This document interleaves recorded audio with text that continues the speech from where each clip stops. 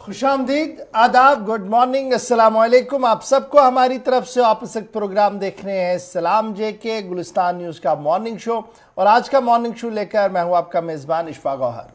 और मैं हूँ रहमत कलीम। समय नाजरीन कुछ अहम बातें आपके साथ आज करेंगे।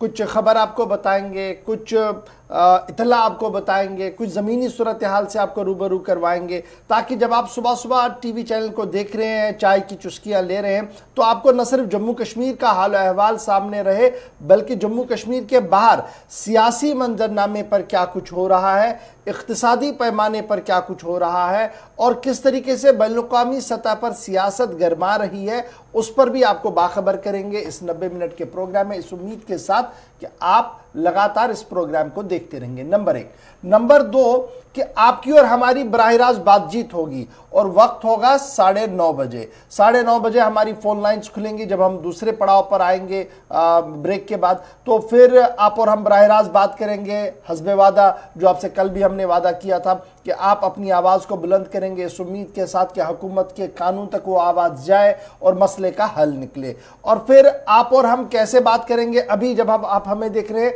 तो आप हमारा सोशल मीडिया प्लेटफॉर्म का इस्तेमाल करेंगे। आप फेसबुक पर आएँगे, फटाफट से वहाँ पर हमारे पेज पर आएँगे गुलिस्तान न्यूज़ लाइव फ़ीड पर भी आएँगे और गुलिस्तान चैनल पर भी आएँगे। दो पेज हमारे चल रहे हैं। आप यूट्यूब इंस्टाग्राम और ट्विटर के ज़रिए से हमारे साथ ज्वाइन करेंगे। और सबसे अच्छा रास्ता है कि आप हमारी ऑफिशियल वेबसाइट पर आइएगा डब्ल्यू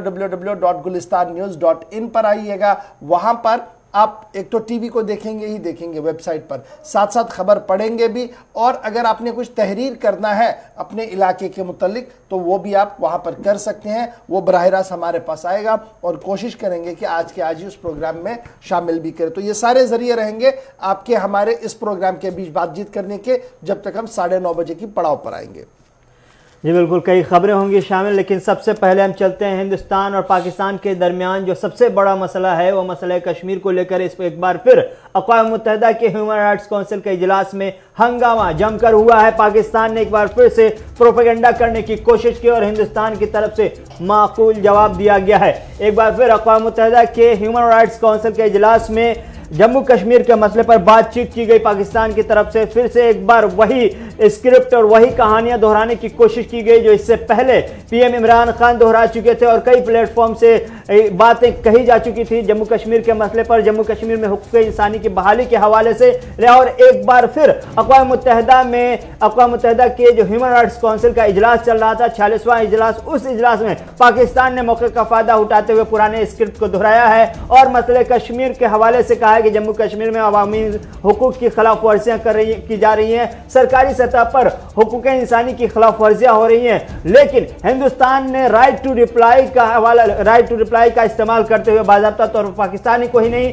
बल्कि ओ को भी कटघरे में खड़ा कर दिया, चूँकि तुर्की इससे पहले ही जम्मू कश्मीर के मसले पर बातचीत कर चुका था और मसले को उठा चुका था कि वहाँ हकूक इंसानी की खिलाफ वर्जी हो रही है। तो तुर्की के साथ साथ ओ आई ममालिक भी हिंदुस्तान की सरकार ने, हिंदुस्तान के मंदूब ने अकवा मुतहदा के इस इजलास में घेरने की कोशिश की और पाकिस्तान को सीधे तौर पर कहा कि ये पुराने स्क्रिप्ट लेकर आए हैं, जिसका कोई ग्राउंड नहीं है, जो फैक्चुअल बुरी तरह से गलत है और बेबुनियाद है। साथ ही साथ ये भी हिंदुस्तान की तरफ़ से कहा गया कि पाकिस्तान ने जो कुछ रेफरेंस के तौर पर इस्तेमाल किया है, वो एग्जिस्ट ही नहीं करता। ऐसा रेफरेंस ऐसा हवाला जिसकी कोई बुनियाद ही नहीं है, उन बुनियादों पर पाकिस्तान एक प्रोपोगंडा चला रहा है। पाकिस्तान का जम्मू कश्मीर के तहत जो एजेंडा चल रहा है, उस एजेंडे के तहत हर प्लेटफॉर्म का मिस यूज़ पाकिस्तान करता चला रहा है। यही वजह है कि एक बार फिर एक अच्छे प्लेटफॉर्म का गलत तरीके से इस्तेमाल पाकिस्तान करता हुआ दिखाई दिया। हिंदुस्तान ने सीधे तौर पर पाकिस्तान को ज़बरदस्त अंदाज में अकवा मुतहदा के हकूक इंसानी काउंसिल के इजलास में तनकीद करते हुए दिखाई दी। हिंदुस्तान के मंदूब की तरफ़ से तनकीद की गई और कहा गया कि पाकिस्तान मुसलसल प्रोपोगंडे के तहत जम्मू कश्मीर की बात कर रहा है और सच्चाई यह है कि बलोचिस्तान हो या फिर दीगर जो पाकिस्तान के अंदरूनी खत्े हैं, वहाँ हकूक इंसानी की खिलाफ वर्सी किस हद तक हो रही है? अगर ये सच सामने आ जाए तो दुनिया के सामने पाकिस्तान शर्मिंदा होगा। तो हिंदुस्तान ने सीधे तौर पर कटघरे में सिर्फ़ पाकिस्तान ही क्यों नहीं, बल्कि ओ आई सी ममालिक जो मुस्लिम तंजीमों की मुस्लिम ममालिक की तंजीम है, जिसमें तुर्की भी शामिल है और साथ ही साथ मुस्लिम ममालिक जितने हैं, बेशतर वो शामिल हैं, लेकिन इनमें से चंद मुस्लिम ममालिक की तरफ़ से मसले कश्मीर, पाकिस्तान के दबाव में उठाया गया था। तुर्की सबसे पहले था और हिंदुस्तान ने मौका का फ़ायदा उठाते हुए सबको खामोश कर दिया है अपने जवाब से और सबको बताया कि मसले कश्मीर हमारा मसला है, हम अंदरूनी मामला है, हम इस पर हल इस पर बात कर रहे हैं, इस पर कोशिश कर रहे हैं। जो मसले हैं, हम खुद अंदरूनी तौर पर हल कर रहे हैं। लेकिन ये बेबुनियाद इल्ज़ाम के जम्मू कश्मीर में हकूक इंसानी की पामाली हो रही है, ये तमाम के तमाम ऐसे हवालों से हैं जिसका जिसकी कोई बुनियाद ही नहीं है। यानी बात अकवा मुतहदा के अंदर इंसानी हकूक कमीशन के इजलास की हो रही है, जहाँ पर पिछले तीन दिन से हम आपको अपडेट कर रहे थे कि क्या कुछ वहाँ पर हो रहा है। वहीं पर भारत की तरफ़ से रिप्लाई दिया गया है और राइट टू रिप्लाई के दौरान न सिर्फ़ पाकिस्तान की तरफ़ से उठाए गए सवालों का जवाब दिया गया है, बल्कि तुर्की ने जो मामला उठाया था और ओआईसी की तरफ़ से जो बात सामने रखी गई थी ओआईसी के जो मंदबीन वहाँ पर थे, उनकी तरफ़ से जो बात सामने रखी गई थी, उन सभी बातों का रिप्लाई जो है वो भारत की तरफ़ से वहाँ पर रखा गया तो कुल मिलाकर मामला जम्मू कश्मीर का अकवा मुतहदा के अंदर है। दावे, जवाबी दावे जो है वो दिए जा रहे हैं और अब मीडिया के सामने बड़ी बातें और भी आनी है। आज पूरे दिन में हमारी इस पर नज़र रहेगी। क्या कुछ वहाँ से खबर आएगी, आपको पल पल का अपडेट ज़रूर बताएँगे। फ़िलहाल अकवा मुतहदा की खबर से आपको रूबरू करवाया कि किस तरीके से सूरत हाल पर बहस हो रही है। बयान दिए जा रहे हैं, काउंटर बयान दिए जा रहे हैं और अब अखबारों के अंदर आज जो जीनत होगी, आज जो प्रेस कॉन्फ्रेंसेज होंगी वो क्या कुछ होंगी वो हम आपको पूरे दिन ज़रूर बताएँगे। ये तो बात थी जनाब, भारत की और अकवा मुतहदा के अंदर पाकिस्तान की और दीगर मुल्कों की जो जम्मू कश्मीर के हवाले से वो बात कर रहे थे। अब बढ़ते हैं जी आगे, बात करते हैं मुल्की सतह की, क्योंकि मुल्की सतह पर वैक्सीन कारी के अमल को तेज किया जा रहा है। और कल वज़ीर अजम नरेंद्र मोदी की सदारत में काबीना इजलास में इस बात का हतमी फैसला लिया गया कि यकुम मार्च से मरहलावार तरीके से अब सभी लोगों को कोरोना वैक्सीन टीका लगाया जाए और मुल्क भर के अंदर यह मामला जो है वो यकुम मार्च से शुरू किया जाएगा।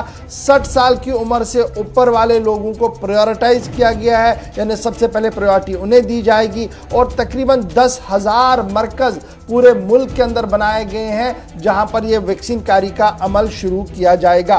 तो एक तरफ़ से सरकार का यह बयान है। दूसरी तरफ़ से जो एम्स के डायरेक्टर हैं, रणदीप गुलेरिया, उनका भी बयान इंतहाई अहम है। रणदीप गुलेरिया साहब का मानना है कि जिस अगले मरहले पर हम जा रहे हैं, जिस तरीके से हम बड़े पैमाने पर अब वैक्सीन कारी को हाथ में ले रहे हैं, ये इंतहाई क्रूशल फ़ेज़ है। नेक्स्ट फ़ेज़ क्रूशल फ़ेज़ है। ये रणदीप गुलेरिया साहब का मानना है और इस पर गहरी नज़र रखनी होगी।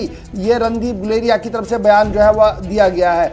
और जब हम दूसरे पहले पड़ाव में जो दूसरा मरहला था, उसमें 14 लाख से ज़्यादा बेनिफिशरीज को जो है वो दूसरा डोज भी दिया गया है। यानी दो टीके जो लगाने हैं, उसमें 14 लाख लोगों को दूसरा टीका भी लगा है और जो 30-40 दिन का वक्फा बीच में होना चाहिए था, वो आहिस्ता आहिस्ता करके पूरा भी हो रहा है और रिसर्चर्स उम्मीद है कि जिस तरीके से इंजेक्शन, जिस तरीके से ये वायरस मुखालिफ टीका जो है वो काम कर रहा है, इसमें मज़ीद बेहतरी लाई जाएगी और आने वाले दिनों में और ज़्यादा बेहतरी जो है वो देखने को मिल सकती है।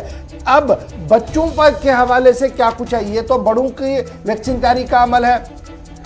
बच्चों के लिए भी पैनल जो है वो लगातार नज़र रख रहा है और बच्चों के ऊपर अब इस वैक्सीन का टेस्ट किया जाएगा। उससे पहले भारत बायोटेक से कहा गया है कि कोवैक्सीन की इफिशियंसी या डाटा जो है, यानी जितनी वैक्सीन कारी अभी तक हुई है, जो पूरा डाटा उनके पास है, वो डाटा जो है, वो सरकार की एक्सपर्ट कमेटी के सामने रखा जाए। जिसके बाद जो इमरजेंसी के लिए फ़िलहाल हमने अप्रूवल दिया था, उसको बच्चों के लिए भी दिया जाए, लेकिन उससे पहले एक बड़ा डाटा जो है उसको रिसर्च किया जाएगा और ज़्यादा तहकीक किया जाएगा, जिसके बाद बच्चों के लिए भी टीका बहुत जल्द आ सकता है।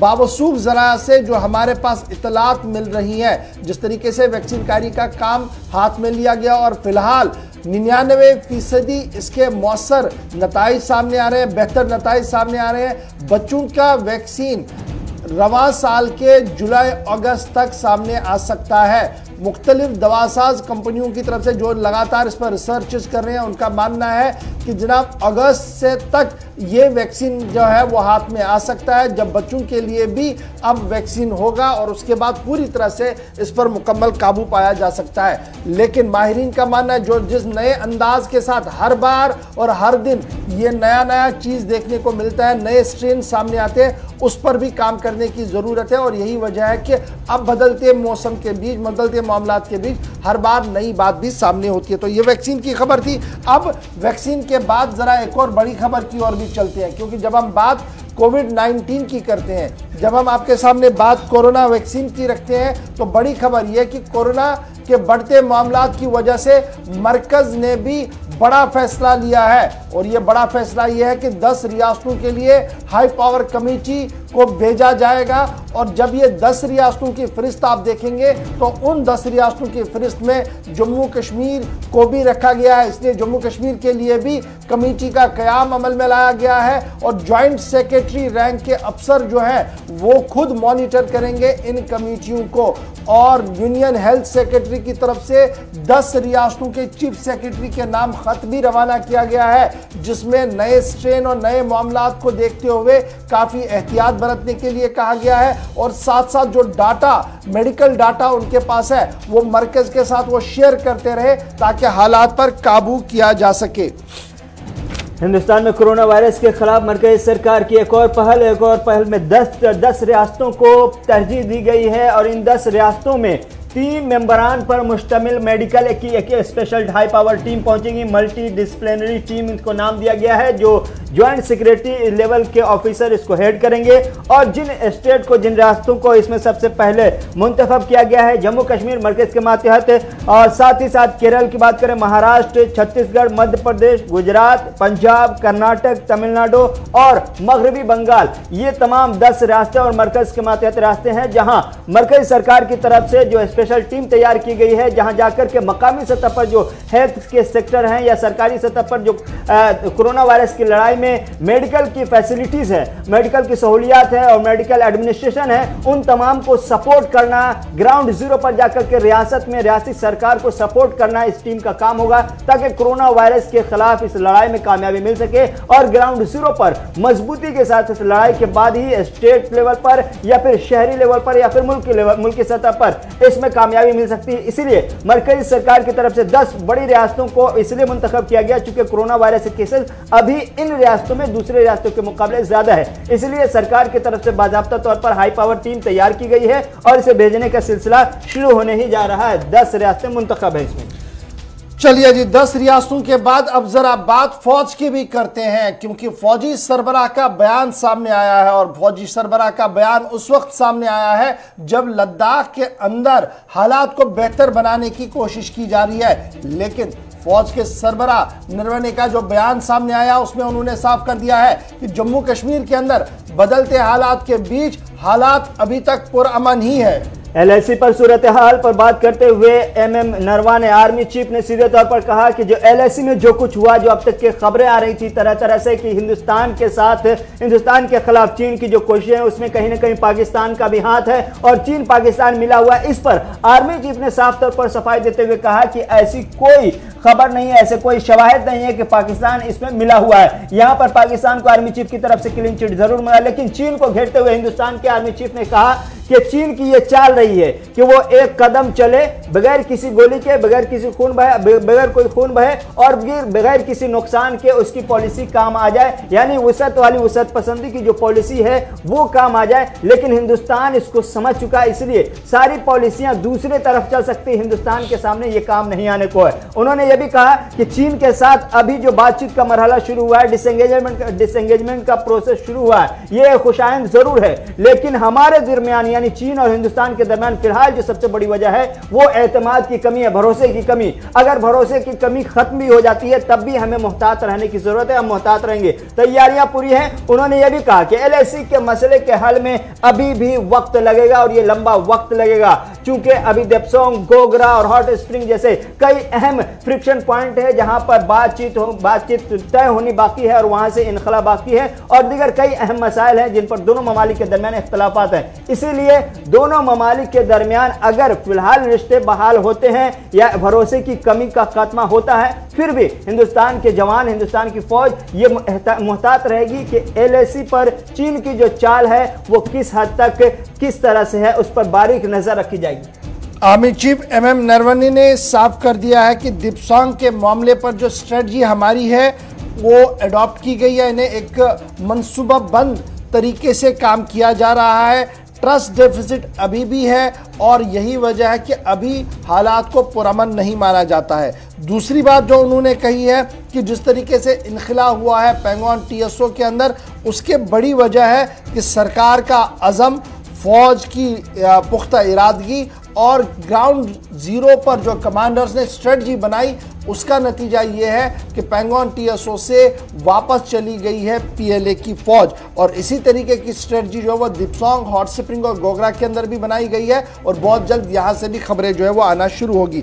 ताहम आर्मी चीफ ने साफ़ कर दिया कि जम्मू कश्मीर के अंदर हालात पुरअमन है, लेकिन हालात पुरअमन रखने के लिए फौज पूरी तरह से चौकस है।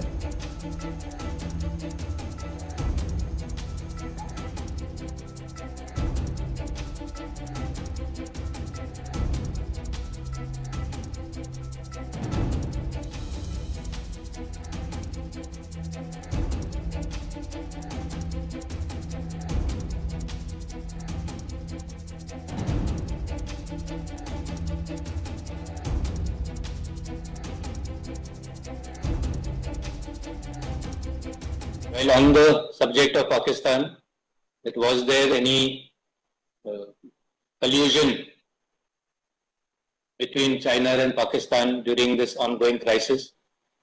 I would say there were no overt signs of any such collusion. Whatever they were doing, they continued doing. I mentioned in my talk also that there is a trust deficit. So unless that trust deficit is removed, we will of course continue to be very wary and watching whatever movements happen on either side, on this side of the LAC. But I think at the end of the day, we have achieved a lot. And more than that, China has been in the habit of creeping forward, making very small incremental changes wherein each change by itself was not very big or worthy of a very strong reaction. And because of these small incremental moves, which were never contested, he has been able to achieve his aims without firing a shot or without any loss of lives. And what has happened in the South China Sea is a very glaring example of that. I think more than anything else, what we have achieved is to show that this strategy will not work with us and every move will be met resolutely. While on the subject of Pakistan, was there any uh, collusion तो ये army chief M M Naravane ने बता रहे थे कि L पर जो सूरत हाल है उसकी तफसीत फराम कर रहे थे। और ये भी बता रहे थे कि चीन की चाल है वो धीरे धीरे चलता है और बगैर खून बहाए ही अपनी उसत पसंदी के नज़रिए को आगे बढ़ाने की कोशिश करता है। लेकिन इस बीच एक और बड़ी खबर आपको बताना चाहेंगे वज़ीर आज़म की तरफ़ से एक बड़ा ऐलान किया गया है। मजीद सरकारी असासों को बेचने का सरकार का फैसला है और इस पर काम हो रहा है। सरकार की तरफ़ से ऐलान किया है। वज़ीर आज़म एक, एक खिताब के दौरान उन्होंने कहा कि सरकार के पास जो बेकार पड़ी सरकारी असासे हैं जो कंपनियाँ हैं उनको फरोख्त करके बाजाबता तौर पर सरकार एक बड़ा अमाउंट जमा करने की कोशिश कर रही है। जो तादाद बताई जा रही है कि सौ से ज़्यादा कंपनियाँ ऐसी हैं जिन्हें बाजाबता तौर पर फोख करके ढाई लाख करोड़ रुपए जमा करेंगे। सरकार की एक अलग से पॉलिसी है कि जो सरकारी ऐसे असासे हैं या ऐसी कंपनियाँ हैं, जो काम नहीं कर रही हैं चाहे वो तेल से मुतलिक हो, गैस कंपनियाँ हो, बंदरगाह हो, हवाई अड्डे हो, इस, इन शोबों में तकरीबन सौ जायदादों को बाबा तौर पर सरकार ने बेचने का मंसूबा बनाया है और इससे ढाई लाख रुपए की सरमाकारी का, के हवाले से सरकार के दावे किए जा रहे हैं कि ढाई लाख की सरमाकारी की जाएगी।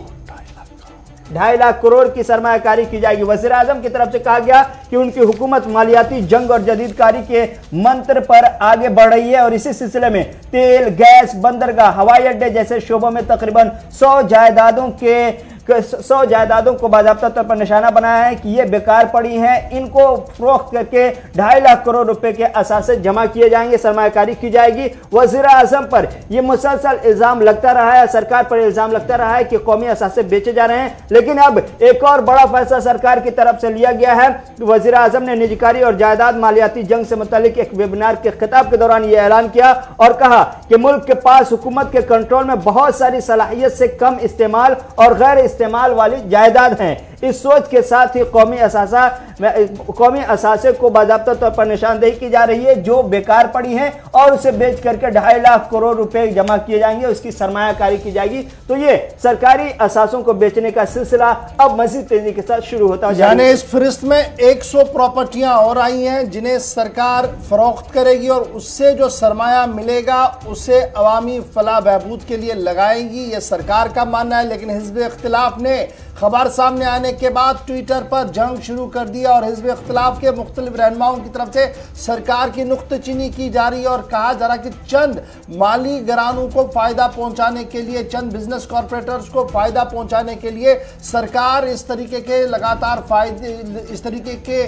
कदम उठा रही है और कौमी सरमाया को नीलाम किया जा रहा है। यह हिजब इख्तलाफ की तरफ़ से लगातार एहतजाजन इस वक्त ट्विटर पर ट्वीट किए जा रहे हैं। तो बड़ी खबर के बाद अब आते हैं जी जम्मू कश्मीर की ओर। और जम्मू कश्मीर में खबरों का सफ़र हम खोल देते हैं। और अब की बार सबसे पहले जरा गुलमर्ग से शुरुआत करेंगे, क्योंकि आज का दिन जम्मू कश्मीर के एतबार से अहम दिन साबित हो रहा है।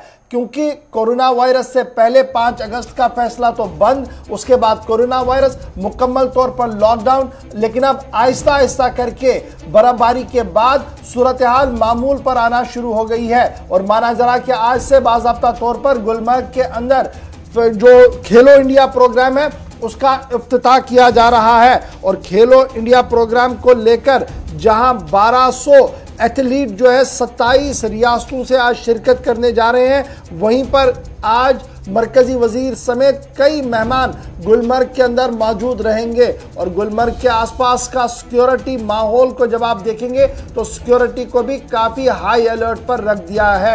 मतला सुबह से ही अबर आलूद है, जिसकी वजह से दर्ज हरारत में काफ़ी कमी गुलमर्ग के अंदर आज देखने को मिल रही है। मतला अबर आलूद है, जिसकी वजह से गुलमर्ग का दर्ज हरारत जो है, वो काफ़ी नीचे चला गया है। लेकिन अब सुबह सुबह क्या कुछ है और इस वक्त की सूरत हाल क्या कुछ है? सीधे चलते अपने नुमाइंदे इशफाक डार के पास, जो इस वक्त हमारे साथ मौजूद है, क्योंकि 1200 एथलीट पहुँच चुके हैं। 27 रियासतों के मंदुबीन वहाँ पर है और एथलीट में जो है वो एक बड़ी ऑर्गेनाइजेशन, इंडियन आर्मी का भी एथलीट टीम वहाँ पर है। जवाहर इंस्टीट्यूट ऑफ़ माउंटेनियरिंग के लोग भी वहाँ पर है। विंटर स्पोर्ट्स की तरफ़ से यह बाबा तौर पर अहतमाम किया जा रहा है और ये उम्मीद लगाई जा रही है कि यहाँ से जो मैसेज बाहर जाएगा, उसका फ़ायदा आने वाले दिनों में बहुत ज़्यादा देखने को मिल सकता है। सीधे इस इशफाक के पास चलता हूँ। इशफाक, अपडेट कीजिएगा सबसे पहले मौसम का मिजाज कैसा है और उसके बाद आज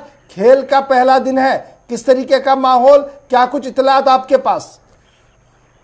बिल्कुल गौर साहब, सबसे पहले अपने नाजरन को कहेंगे कि जिस तरीके से मौसम मौसमियात ने पहले ही पेशन गोई की थी कि आने वाले दिनों में जो है हल्की बर्फबारी या बारिशें हो सकती हैं। बिल्कुल इस वक्त हम ग्राउंड ज़ीरो पर मौजूद है टंगमर्ग में और अगर गुलमर्ग में इस वक्त हल्की बर्फबारी शुरू हुई है और ताहम टंगमर्ग में अभी भी बारिशें जो है शुरू शुरू हो गई है। और वही अगर खेलो इंडिया की बात करेंगे आज जो मुख्तलिफ़ रियासतों से जो यहाँ पर एथलीट्स आएँगे सियाती मुकाम गुलमर्ग की तरफ़, और यहाँ पर जो जिस जिस मुकाम पर हम खड़े हैं, ये मेन एंट्री पॉइंट है जहाँ पर सारे खिलाड़ियों को पहले चेक इन किया जाएगा, कोविड टेस्ट जो हुए हैं, वो चेक किए जाएँगे और उसके बाद जो है, उन्हें गुलमर्ग जाने की इजाज़त दी जाएगी। और आपने नाजिर को ये पता है कि आज बादर तौर पर छह बजे शाम, छह बजे के करीब खेलों का डेमो जो है, वो सबसे पहले चलाया जाएगा सेहत इमकाम गुलमर्ग में। और कहीं ना कहीं यह भी है कि बर्फबारी जो है, वो देखने वो जो स्लोप्स है, उनमें बर्फ़ तो काफ़ी कम देखने को मिल रही है, लेकिन उम्मीद ये की जाती है कि आने वाले दिनों में अगर गुलमर्ग में बर्फबारी होती है तो इस प्रोग्राम को इस खेल को तब जाके ग्राउंड लेवल पर कामयाब के साथ बड़ा इंपॉर्टेंट ये है कि हमारे पास गुलमर्ग के अंदर तकरीबन 1300 लोगों की कैपेसिटी है कि उन्हें हम वहाँ पर रख सकते हैं मेहमान की हैसियत से मुख्तलिफ़ होटल के अंदर। अब खबर यह है कि एक कमरा भी कहीं पर खाली नहीं है और अगर बाहर से भी कोई शायकीन आना चाहे उसके लिए क्या कुछ अरेंजमेंट्स है? क्या अब मकामी सतह पर लोगों ने अपने घरों के दरवाजे खोले हैं? क्योंकि इस तरीके की भी खबर है कि जो लोग आना चाहते हैं वो मकामी तौर पर भी लोगों के घरों में रह सकते हैं। अब सरकार ने उसको भी अलाउ कर दिया है। बिल्कुल, गौर साहब, आपने सही कहा, क्योंकि अगर हम सैद का गुलमर्ग की बात करें, यहाँ पर पहले से ही जो है वेलकम टूरिज़्म है, उस हवाले से जो है, मकामी लोग जो है, वहाँ उन्होंने पहले ही दरवाजे खोल रखे थे, क्योंकि कोविड के दौरान ही जो सयाह यहाँ पर आते थे तो वह कोशिश करते हैं कि जहाँ पर यहाँ पर जो मकामी लोग हैं, वो अपने आप को वहाँ पर महफूज समझते थे। लेकिन अगर हम बात करें सयाती मुकाम गुलमर्ग में, मैंने अपने नाजरिक को कल भी कहा था कि सत्तर के करीब जो होटल यहाँ पर है, वो उनकी बुकिंग हो चुके हैं। कहीं ना कहीं महकमा जो यूथ सर्विस सपोर्ट्स हैं, उन्होंने इनको जो है पहले से ही बुक किया गया है। तो जितने भी एथलीट्स आ रहे हैं वीआईपी आ रहे हैं वीआईपी वीवीआईपी आ रहे हैं, उन्हें गुलमर्ग में उनके लिए मुकम्मल जो है, वहाँ पर जो इंतज़ाम किए जा चुके हैं। और इस बार जो खिलाड़ी है, जो कल ही हमारे जो विंटर सपोर्ट्स के प्रेसिडेंट है, उनसे बात हुई तो उनने कहा कि खिलाड़ियों को जो है श्रीनगर जो खिलाड़ी है, शाम देर गए श्रीनगर को भी मूव करना पड़ेगा। कुछ खिलाड़ियों को टंगमर्ग में जितने होटल्स हैं, नारबल में जो है, उन्हें गुलमर्ग से शाम को वापसी पर जो है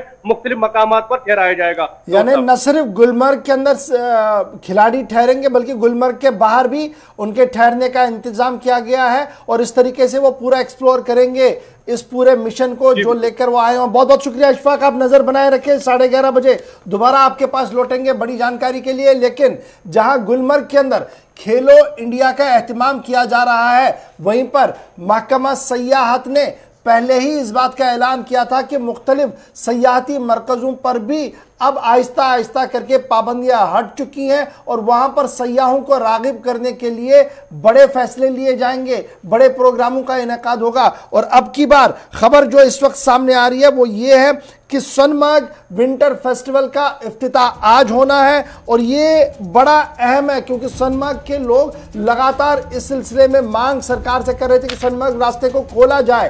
तब जाकर सैया वहाँ पर पहुँचेंगे तो सयाह वहाँ पर जा सकेंगे, इसलिए आज बाबा तौर पर टूरिस्ट रिजॉर्ट सनमर्ग, यानी सयाहती मकाम सनमर्ग जो है, उसे बाबा तौर पर खोल दिया जा रहा है। और इसके साथ साथ एक अच्छी खबर ये कि श्रीनगर लेह रोड को भी ट्रैफ़िक की आमदरफ्त के लिए 28 फरवरी से खोलने का प्रोग्राम बना दिया गया है। 28 फरवरी हतमी तारीख दे दी गई है कि श्रीनगर लेह पर, कौमी शाहरा पर गाड़ियों की आवाजाही होगी। बॉर्डर रोड्स ऑर्गेनाइजेशन सूबाई इंतजामिया ट्रैफ़िक इंतजामिया का मुश्तर इजलास हुआ है, जिसमें इस बात का फैसला लिया गया कि जिस तरीके से मुसलसल काम हो रहा है 28 तारीख को श्रीनगर लेह कौमी शाहरा को भी खोल दिया जाएगा और आज टूरिस्ट सयाह मका सयाहती मकाम गुलमर्ग को खोल दिया गया और बाबा तौर पर आज दिन में वहाँ पर फेस्टिवल होगा, जहाँ पर महकमा सयाहत के डायरेक्टर भी जाएँगे। इसके अलावा खबर जहाँ हम आपको दो बड़ी बता रहे हैं कि सोनमर्ग को खोला गया, श्रीनगर लेह शाहरा को खोला गया है, वहीं पर आवाज़ उठ रही है पुंछ रजौरी से, और वहाँ पर मुगल शाहरा को खोलने की आवाज़ काफ़ी तेज हो रही है, और लगातार हुकूमत से मांग की जा रही है कि मुगल शाहरा को भी खोला जाए, ताकि श्रीनगर जम्मू कौमी शाहरा पर दबाव कम हो, और पुंछ रजौरी से लोग जो श्रीनगर जाना चाहते हैं, कश्मीर जाना चाहते हैं, उनके लिए आसानी हो, क्योंकि उन्हें पहले जम्मू जम्मू से फिर श्रीनगर आना पड़ता है, और अगर यह रास्ता खुलता है तो उन्हें काफ़ी फ़ायदा मिल सकता है। यानी पुंछ मुगल शाहरा को खोलने की मांग है, लेकिन आज का दिन इंतहाई अहम, क्योंकि दो बड़े फेस्टिवल्स होने हैं। एक विंटर गेम का अफ्ताह आज होना है खेलो इंडिया के तहत और दूसरा सनमर्ग के अंदर फेस्टिवल आज आ, आ, फेस्टिवल का अफ्ताह थोड़ी देर में होना है और फिर श्रीनगर लेह कौमी शाहरा को 28 फरवरी से खोलने का प्रोग्राम सरकार ने बना लिया है और सरकार की तरफ़ से इसको मंजूरी दे दी गई है। सीधे गांधरबल चलेंगे जहाँ से सलीम वानी इस वक्त मेरे साथ फ़ोन लाइन पर है। सलीम बहुत शुक्रिया ज्वाइन करने के लिए। इंतजामिया ने कितनी कमर कस ली है? रास्ता कितना तैयार है? और स्पेशली जो टूरिस्ट है या जो वहाँ पर होटल वाले हैं, जिनकी लगातार ये मांग थी कि सोनमर्ग को भी खोला जाए ताकि सैया वहाँ पर आए। आज फेस्टिवल का अफ्ताह है, कितने बजे है और क्या कुछ ग्राउंड ज़ीरो पर तैयारियाँ हैं? जी, बिल्कुल, जो एक महीने से जो सोनमर्ग होटलियर्स है और जो सोनमर्ग की जो टेररिस्ट बॉडी थी, उनकी डिमांड यही थी कि उनका यही था डिमांड कि सोनमर्ग को जल्दी जल्दी खोला जाए। तो उसी हवाले से सत्रह तारीख को डायरेक्टर टूरिज़्म कश्मीर और डीसी गांधरबल ने ये फैसला लिया था कि हम यहाँ पे चौबीस तारीख को पहले फेस्टिवल करेंगे। तो उसके बाद वो जो दो दिन पहले डिप्टी कमिश्नर गांधरबल ने एक दिन का ये जो शेड्यूल प्रोग्राम हुआ तो ट्वेंटी फिफ्थ फेब को आप यहाँ आज फेस्टिवल होगा और बाजाबता तौर पर गवर्नमेंट की तरफ़ से ओपनिंग का भी अनाउंसमेंट होगी। तो आज बाजाबता तौर पर ग्यारह बजकर पैंतालीस मिनट पर सोनमर्ग फेस्टिवल का इनाग्रेट करेगा। जम्मू कश्मीर यूटी के लेफ्टिनेंट गवर्नर के Washir Bashir Ahmad Khan director tourism Kashmir deputy commissioner Ganderbal SSP Ganderbal उसके साथ सारे ऑफिसर्स होंगे। और कल से ही सोनमर्ग को पूरा डेकोरेट किया गया था। सोनमर्ग डेवलपमेंट अथॉरिटी की तरफ़ से भी। और जो होटलर्स थे, उन्होंने परसों सबसे बड़ा ऐलान किया था जो टूरिस्ट आएँगे उनके लिए हम पहले दो दिन यहाँ पे सबसे बड़ा डिस्काउंट रखेंगे और वहाँ के जो लोग हैं, उन्होंने भी पूरी तरह से टूरिस्ट के लिए कमर कसा है। क्योंकि जो यहाँ के जो लोग हैं गनिवंती वो इसी टूरिज़्म से काम करते हैं, उनका बिज़नेस पूरा इसी पे चलता है।